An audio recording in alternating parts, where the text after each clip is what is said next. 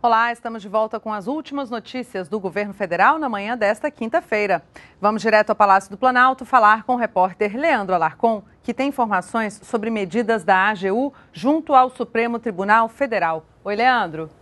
Oi, Daniele. Então, uh, o, em entrevista à TVNBR, o ministro-chefe da Advocacia Geral da União, José Eduardo Cardoso, falou das ações tomadas pela AGU para reverter a liminar que impede a posse do ex-presidente Lula como ministro-chefe da Casa Civil. Nós estamos recorrendo dessa decisão através de um agravo regimental é, para que nós possamos ter a revisão dessa decisão.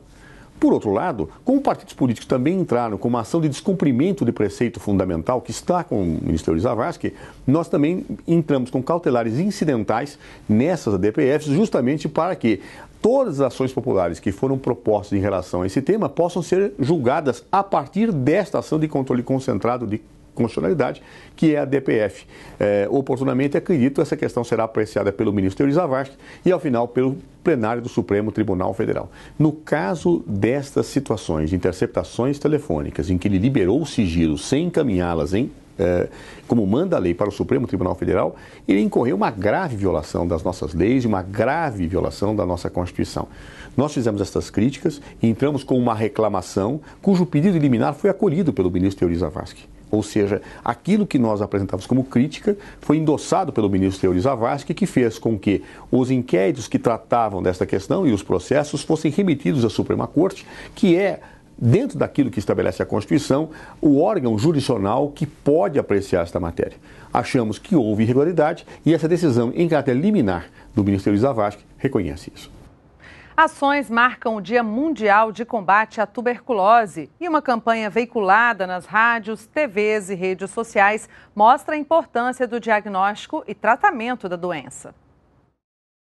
A tuberculose é uma doença contagiosa grave que afeta principalmente os pulmões e pode matar. O principal sintoma é a tosse por mais de três semanas com ou sem catarro. Segundo o Ministério da Saúde, nos últimos 10 anos, a incidência de casos de tuberculose caiu 20% no país. A taxa de mortalidade também foi reduzida no período em mais de 15%, mas ainda assim foram registrados só no ano passado mais de 63 mil novos casos. Por isso, no Dia Mundial de Combate à Tuberculose, profissionais de saúde estão realizando ações informativas em vários pontos do país. Uma das principais informações é que a tuberculose tem cura. O tratamento é oferecido gratuitamente no SUS e dura cerca de seis meses, mas é importante segui-lo até o final, mesmo depois de desaparecidos os sintomas. De Brasília, João Pedro Neto.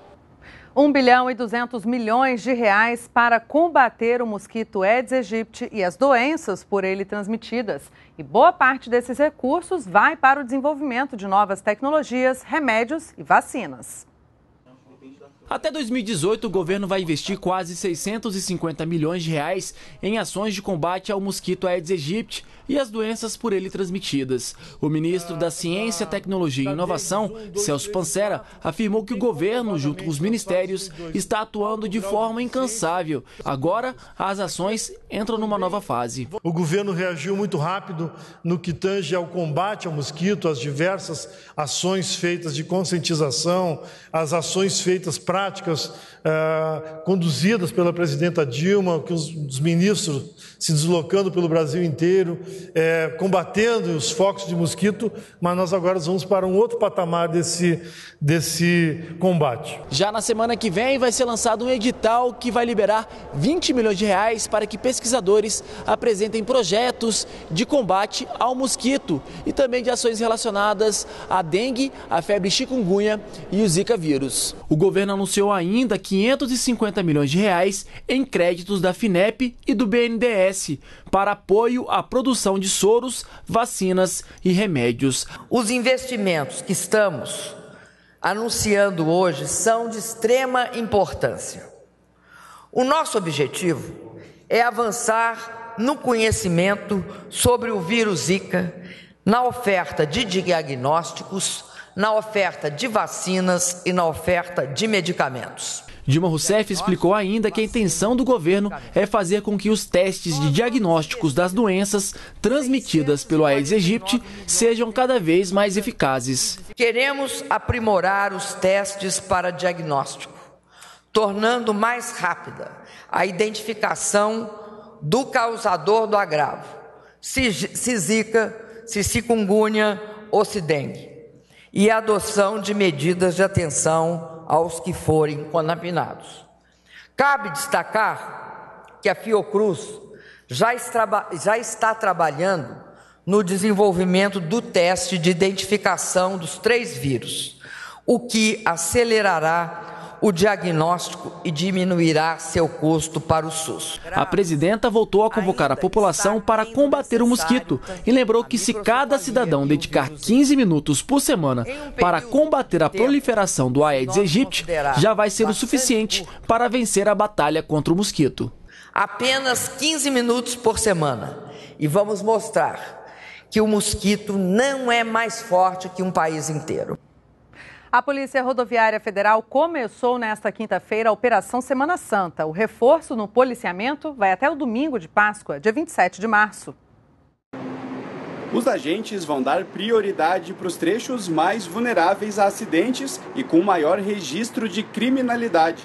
A Polícia Rodoviária Federal vai promover ações educativas e também restringir o tráfego de veículos que precisam de autorização especial de trânsito em determinados dias e horários em rodovias que têm trechos de pista simples. Tem vídeos que os condutores assistem mostrando condutas que não foram favoráveis, que causaram acidentes, condutas arriscadas para que o condutor é, crie uma consciência melhor no trânsito, do seu papel no trânsito. E para ter uma viagem tranquila, sempre é bom ficar atento às dicas de segurança. Verificar se tem pontos de paradas, procurar conhecer o trajeto, né, saber se tem pontos de apoio, aonde que tem, procurar descansar antes de pegar a estrada e durante a viagem, programar descansos, não beber e dirigir e redobrar a atenção sempre, usar cinto de segurança. Para saber os trechos com restrição de tráfego e os detalhes da Operação Semana Santa, é só acessar o site da Polícia Rodoviária Federal, www.prf.gov.br. E nós voltamos às três da tarde com mais informações do governo federal. Você pode acompanhar também outras notícias nas nossas redes sociais, twitter.com.br tvnbr e facebook.com.br tvnbr. Continue com a gente, NBR, a TV do governo federal.